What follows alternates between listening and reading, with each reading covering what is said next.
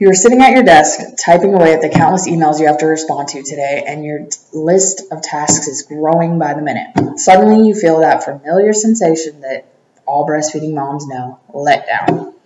You need to pump, and you need to pump quick.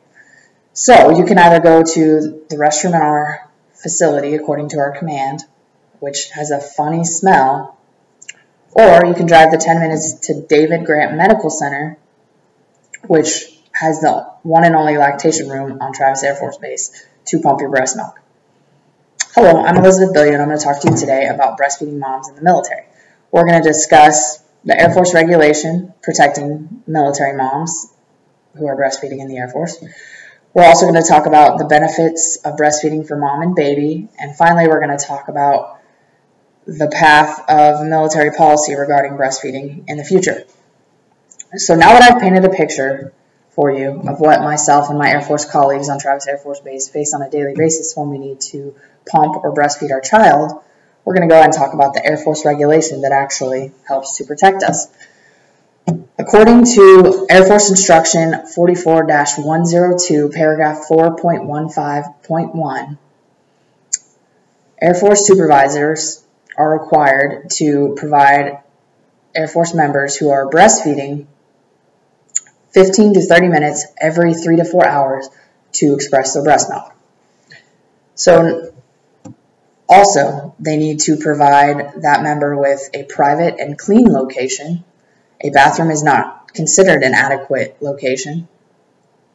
They also need to provide that member with comfortable seating, an outlet to plug in their equipment, a refrigerator to store their expressed breast milk, and also a running water source so that they can clean their equipment once they have finished.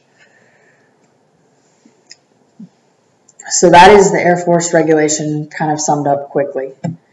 So now that we've discussed that Air Force instruction that is meant to protect breastfeeding moms, let's go and talk about the benefits of breastfeeding for mom and baby.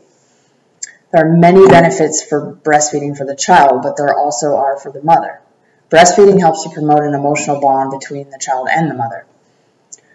The act of breastfeeding your baby releases the hormones oxytocin and serotonin in both the baby and the mother. This encourages a strong emotional bond between the mother and the baby. That bond that is developed between the mother and her breastfed baby has been proven to lead to a better emotional stability throughout that child's life.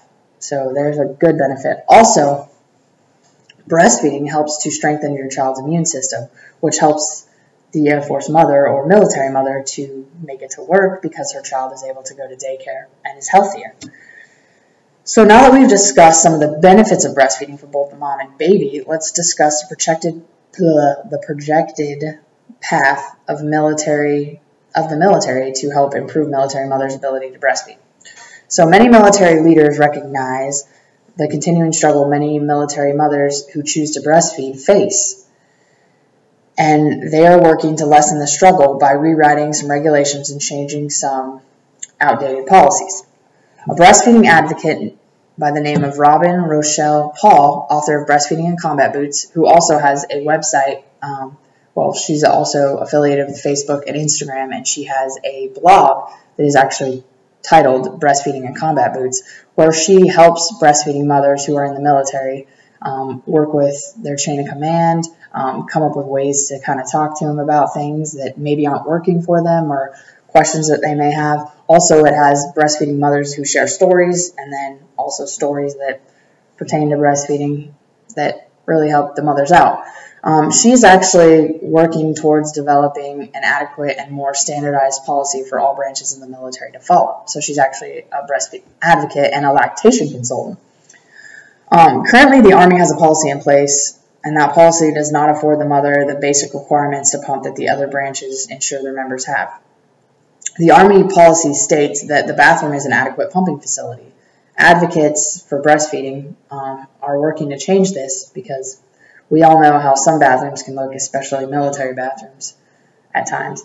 So representatives are asking the Army Chief of Staff to reconsider the current policy and continue to work on shaping the policy to help Army soldiers to be successful soldiers as well as breastfeeding mothers. So I hope today you've learned the importance of breastfeeding for military moms as well as non-military moms and their babies. I hope I have also helped you to better understand the policies currently in place and the policies that will hopefully someday be in place to help military moms to continue to protect and serve their country as well as feed their babies. Today we discuss breastfeeding in the military, the current Air Force regulation regarding it, the benefits of breastfeeding for mom and baby, and the future path of the military to help shape policy to better suit breastfeeding mothers in the military. Thank you so much for your time today. I hope I've helped you to better understand breastfeeding moms in the military. Have a great one.